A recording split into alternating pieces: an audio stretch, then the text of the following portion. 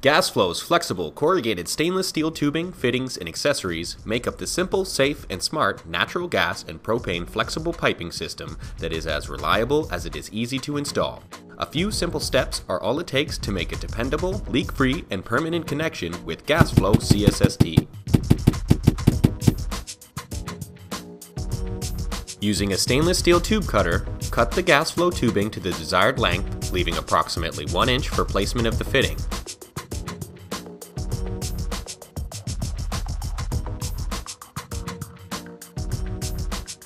Be sure to cut in the valley of the tubing and clean any burrs or jagged edges.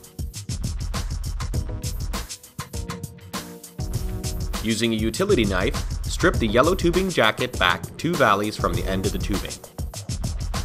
Remove the yellow warning label from the fitting assembly if present.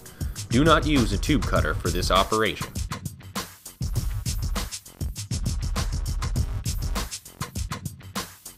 Slide the flange nut over the tubing with the threaded end pointing towards the cut end of the tubing, being careful not to dislodge the O-ring inside the nut.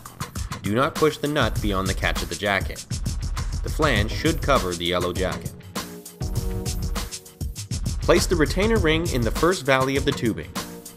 Being careful not to dent the tubing, clamp the ring in place by applying gentle pressure 360 degrees around the ring. It should fit tightly and not easily spin around the tubing.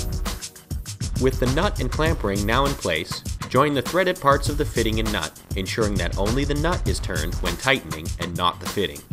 GasFlo CSST fittings work by compression, and for a perfect seal, turning the nut only is required.